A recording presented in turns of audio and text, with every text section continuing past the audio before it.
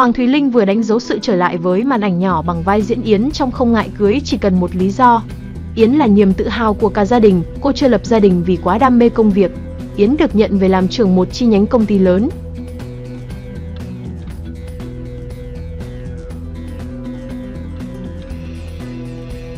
Thể hiện vai diễn nữ cường nhân, Hoàng Thùy Linh chưa thể mang lại cho người xem một cảm giác thuyết phục.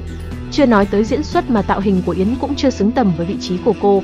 Mái tóc dễ đôi buộc lại đằng sau khiến gương mặt Hoàng Thúy Linh bị to ra khi lên phim. Không chỉ vậy, trang phục của Yến trên phim bị đánh giá đơn điệu và có phần cộng thêm tuổi cho nữ diễn viên,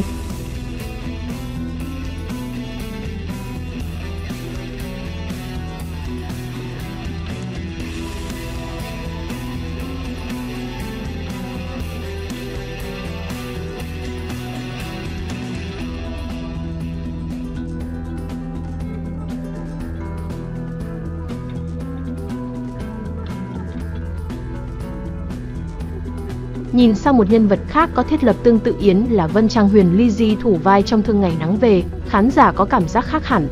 Vân Trang cũng là một trưởng phòng truyền thông, marketing của một công ty thời trang.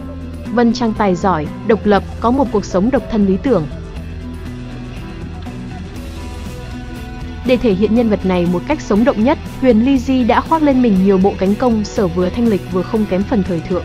Trang phục của Vân Trang không gói gọn ở vest mà còn kết hợp linh hoạt áo sơ mi có họa tiết, cách điệu, quần ống loe hoặc chân váy.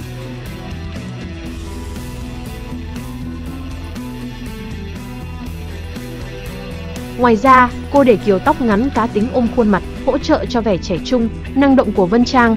Có thể thấy, trang phục và kiểu tóc phù hợp đã góp phần khiến nhân vật Vân Trang hiện lên như một hình mẫu lý tưởng của nhiều cô gái.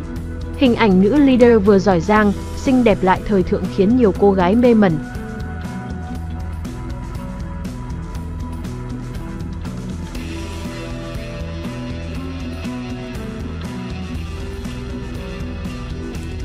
Bây giờ xin chào và hẹn gặp lại.